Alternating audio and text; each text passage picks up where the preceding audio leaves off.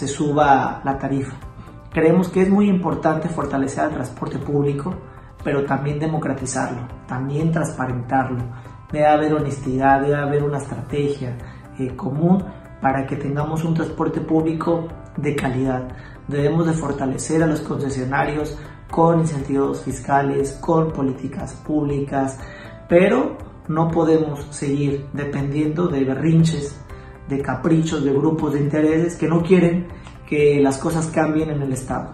Yo creo que hemos construido esta ley de movilidad, el conjunto de las fuerzas políticas, porque era lo mejor para la sociedad, lo mejor para la mayoría de la gente y vamos a sostener estos argumentos. No vamos a permitir de que eh, se incremente el transporte público en el Estado de Colima y vamos a velar por los intereses de los estudiantes, de las amas de casa, de los trabajadores que día a día utilizan ese transporte.